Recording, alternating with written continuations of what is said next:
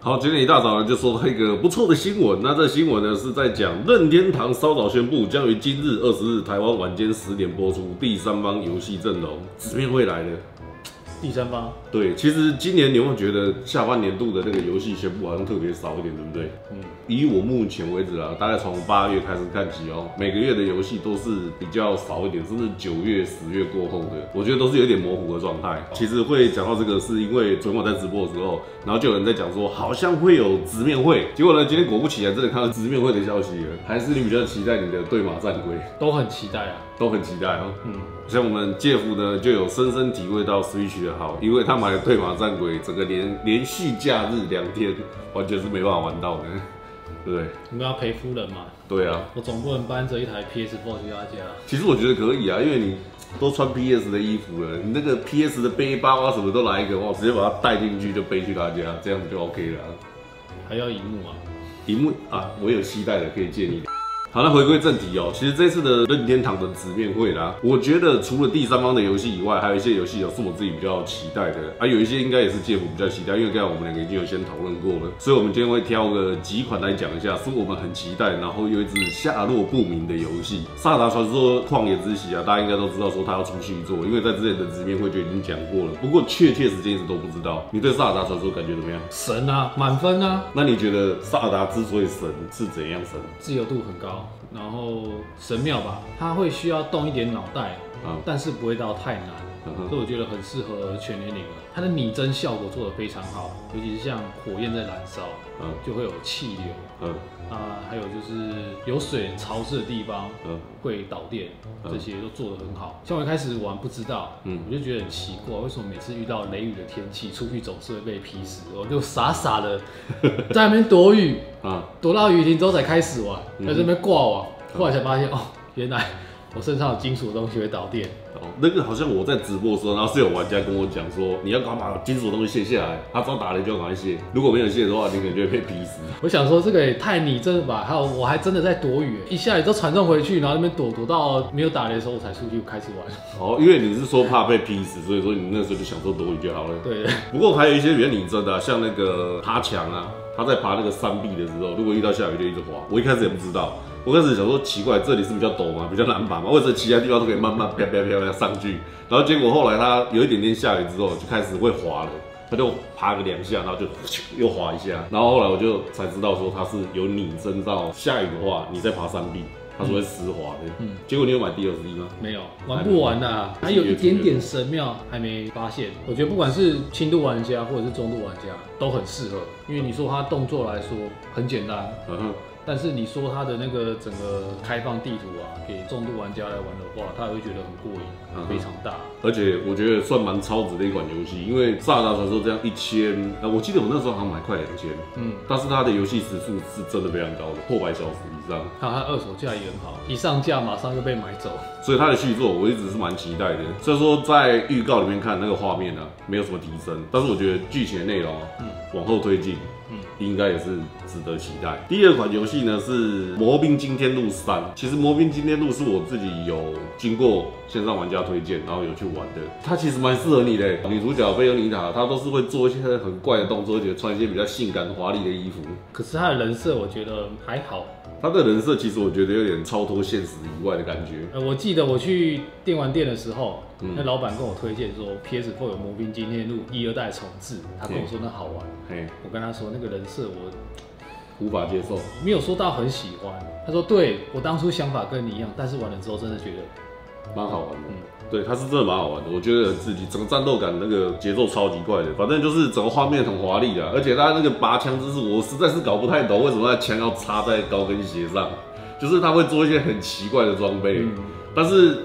你在那种很奇怪的装备之下，就会很多东西是变出来的惊喜。你从来没有想过一个魔女，然后可以这样子，就一副很艳丽的感觉。而且大家是一种很沉稳的，他不会说因为战斗比较热血一点，然后就表现出非常热血、看开机一样的感觉。嗯，所以他这边也会藏凶器哦。那你也许本来就有。那再来下一款呢是《符文工厂五》，《符文工厂五》是你讲的啊，因为你把《符文工厂四》破关了嘛，所以你应该对《符文工厂五》的期待度是非常高的。嗯，而且我发现其实这一类型的游戏啊，我超多人喜欢的。那《符文工厂五》的话，为什么你会那么的期待它的感觉。一开始是有很多人推荐啊，嘿，像是什么牧场类也是很多人推荐，但是我只要一听到牧场两个字就稍微犹豫一下，因为我不是说很喜欢那类的游戏。是哦，对，但是符文工厂他说他有结合战斗，我想说试试看吧。嗯，哎，我发现还蛮好玩的。嗯哼，他打怪有点像无双，但又不像。嗯。然后它又可以种种花、种种菜这样子，结合不同类型。然后你还有一些社交，反正就是玩起来结合了战斗跟牧场，就是有点动静皆宜的感觉。对对对，其实我玩牧场物语的原因，就是因为它比较安静，而且。比较容易让女生接受，所以如果说你要挑起另外一半的兴趣的话，我觉得牧场类的游戏是真的蛮好的。不过玩一玩玩到后面的话，会比较不知道说要干嘛。虽然说大家都会觉得说要去提升什么好感度之类的，嗯，但是对我们来讲，就是牧场类东西就很像在经营一样，你可以赚大钱啊，发大财啊，然后种出很多不一样的作物，那个就很像成就达成。其他角色的社交的话，我们就比较少去做了。嗯，我记得四代是之前移植过来，对不对？对。所以五代应该是会蛮让人期待，因为可能会有一些很新的要素，会以新的技术来制作它。嗯，那再来这一款呢是 A 列车系列的 A 列车，然后他说他发售在 Switch 上面，这应该是我比较有感觉而已。我也想到这一款游戏哦，主要是因为小时候我玩 A 列车四，它这个 A 列车系列的，我个人觉得是蛮像模拟城市那种感觉。嗯，模拟城市应该就玩过吧？我有买。模拟城市其实应该是比较多人有玩过的，不过 A 列车的话，它主要是以列车作为一个主轴，像我之前在玩的时候啊，一九九几年的吧，超级久了，而且那时候的软体啊，我记得我买回来的时候是第三波发行，然后它的软体是两片一点二 m 的那个磁片，一点。一点二大片的，一点四四，一点四四是小片的，一点二枚的磁片，所以那个真的是非常有年代。软碟，对软碟，而且我记得那个时候买回来，因为我的电脑是跑不动的，记忆体不足，所以没有办法，你可以安装进去，但是没有办法启动它，所以那个时候我在家也是没有办法玩的。然后我有一个红杏朋友，红杏同学，我那时候都跑去他家玩，真的很期待，超级期待，每次说要去他家玩就很期待这一款游戏，因为模拟经营的那个状况之下，就是会由小慢慢经营到变。大就跟模拟城市很像啊，你可能看着你的那个小地图、小岛屿，然后越建越多，然后从那种很平凡的那种乡下，然后开始有一些发展之后，慢慢变成都市感。所以那个时候我在玩的时候啊，我每天都很期待去大家。可是没有办法每天去，所以只能假日。火车版的动物森友会，呃，对对对对对，火车版的，就是它是用列车，主要是用列车跟公车。它其实公车也是算在里面，算一个蛮重要的要素。所以它有超级多种列车可以选，超级多种公车可以选，搭那个铁轨，然后还有搭陆地，然后利用那个物件，他们好像叫物料吧，然后利用物料的工厂的物料，然后去让它运输，之后它就会在那个物料的附近自动建筑一些像工业区啊、商业区。住宅区等等的主轴，我们就是控制那个货物列车，或者是载客列车，或者是公车的部分。那这款我是还蛮期待的，有中文版又可以自己玩。不过这一款也是没有任何的发售日，目前为止讲这几款都没有。啊，最后一款的话是今天有人留言，今年因为是马里奥三十五周年的日子，嗯，我看你好像对马里奥没什么感觉，还好，反正你对路易吉比较有感觉，也没有对路易吉比较有感觉啊，因为你买了路易吉洋楼。是因为洋楼吧，不是因为录一集，所以是因为题材的问题。如果今天出了马里奥鬼屋，你就买。对，马里奥鬼屋，马里奥之恶灵古堡。买像这样子玩家就很容易去找到自己喜欢的游戏，因为很明白自己喜欢什么样的游戏类型。今天的留言是说，今年的年底有可能依照这个周期来看，马里奥赛车九代也许会出。那因为我们都知道说，马里奥赛车八豪华版是从之前的版本移植过来，所以说第九代都应该是会是全新的一代。不过你应该对我记得你是对马里奥系列的马里奥赛车应该蛮有感的吧？但是没有人跟我玩啊，没有朋友状态。对啊，我们让他多来这边工作室玩啊。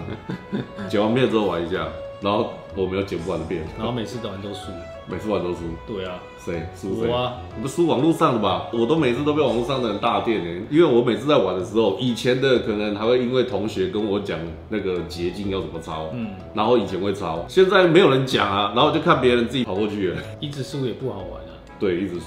所以我还是适合玩单人的。可是我觉得现在的马里奥游戏有一个好处，就是它可以连线。嗯，因为以前如果玩马里奥赛车，像早期玩那超嫩的，就是一定要揪朋友这样子去玩，不然就是整跟电脑玩。有时候电脑感觉就是，就算你调到最难的，然后你的技术大概练到一个层级之后，你就发现它太弱。好了，那以上就是我们今天会比较期待出现的一些游戏的。不过说真的，这些游戏哦，说实在是真的有点可遇不可求感觉，因为它今天有讲是第三场的游戏，而且只有十分钟而已。但是依照前阵子的那个纸片马里奥啊，其实它是快闪的，就是公布之后，然后隔两个月就发售了。所以我在想，这次会不会这个第三场的突然就讲一个什么魔兵今天入三哦，我们九月见，哇，这样就厉害了，也可以试试看啊，因为它画面是真的蛮香的。虽然说人设不 OK，但是画面那个香香的感觉。